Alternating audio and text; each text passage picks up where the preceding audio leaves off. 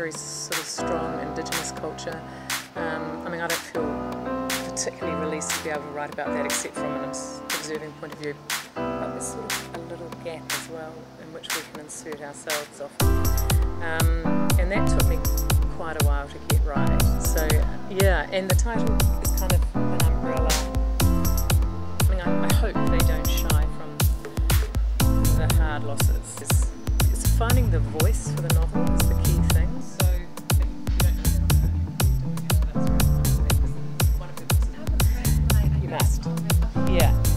and so that.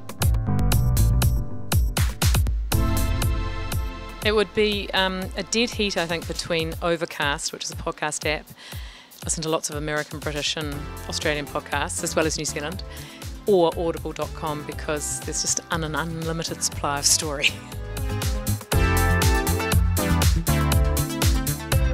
I think somewhere on the internet it says that my favourite food was spaghetti alla, uh, spaghetti puttanesca, but um, now that I've had the wind up me about carbohydrates, I'm mostly eating um, vegetables and quinoa is pretty nice.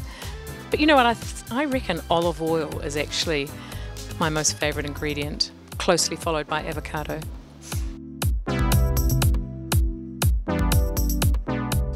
can't show you right now, but I can tell you that I'm a reasonably good knitter.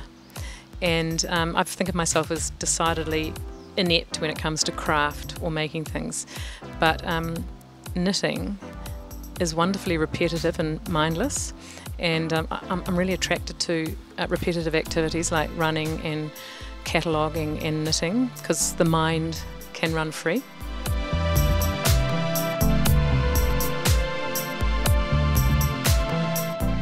Am I allowed one?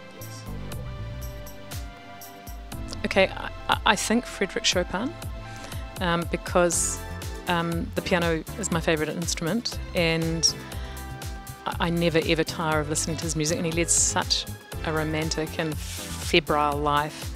I think he would be fun.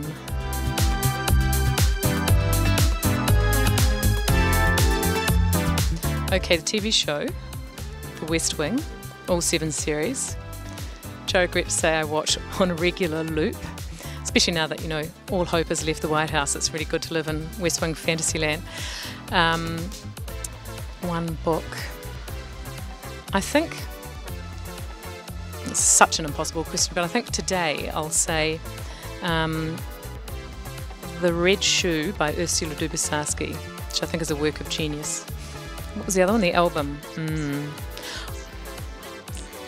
I'll never forget. I was brought up in a classical music household we weren't allowed to put on commercial radio. I will never forget buying my first rebellious album. Um, and I've forgotten what the title of it is. It's the first Sex Pistols album, the um, punk rock album.